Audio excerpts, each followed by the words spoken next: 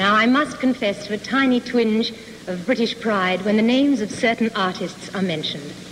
This next gentleman appeared on Broadway in Epitaph for George Dillon, and for many years now he's been a leading actor with the National Theatre of England, and also he's now its co-director. A man of enormous accomplishment, one of the cleverest things he ever did was to marry the lady who accompanies him this evening. Now, she first appeared in New York as one of the new faces of 1956. And just a few days ago, she won the Academy Award for the Best Actress of the Year for the prime of Miss Jean Brodie. Now, she was unable to be in Hollywood to accept her award because that very evening she was appearing with her husband in London in the premiere performance of The Beaux' Stratagem at the National Theatre. They have flown here this afternoon to take part in the Tony Awards, and they'll be returning to England tomorrow morning. A lady of enormous accomplishment, one of her cleverest moves was to demand co-star marital billing with him. Ladies and gentlemen, Maggie Smith and Robert Stephens.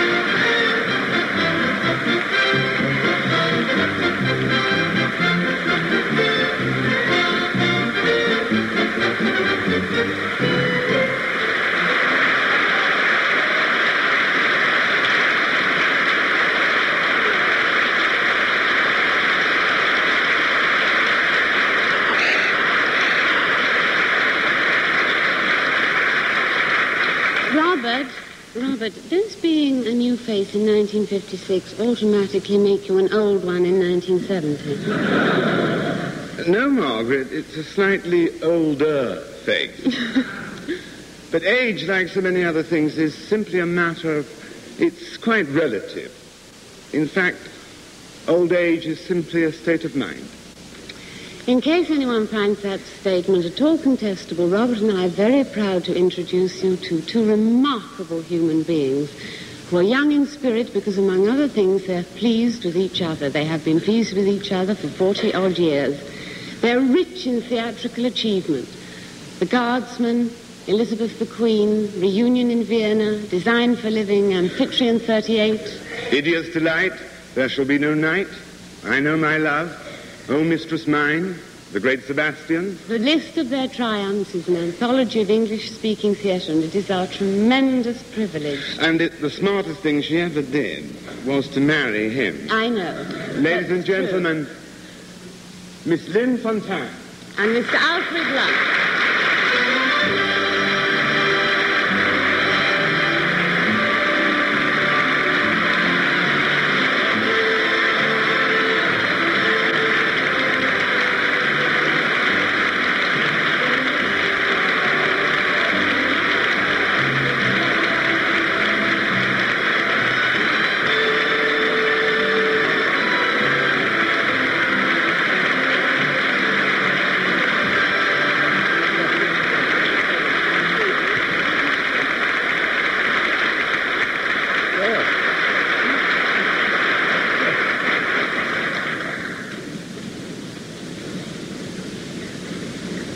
The Antoinette Perry Tony Award is the most coveted reward that an actor can receive. And now, really because it comes from your own people, and to be thought well of by your own people is a very pleasant thing. And now, Mr. Lunt will talk some more on the same subject.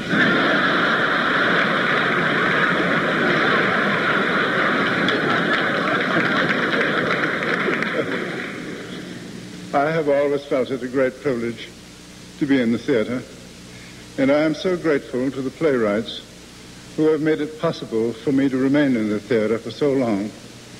It's a terrifying business, but it has its compensations.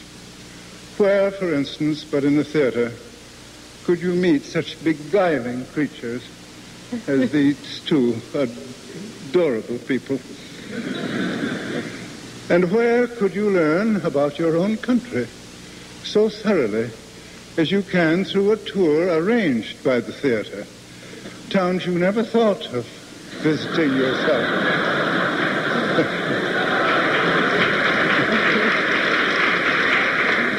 and where but in the theater could I have found someone who for 50 years has given to me sheer enchantment. You are very kind, very generous, and we are very grateful. Thank you very much.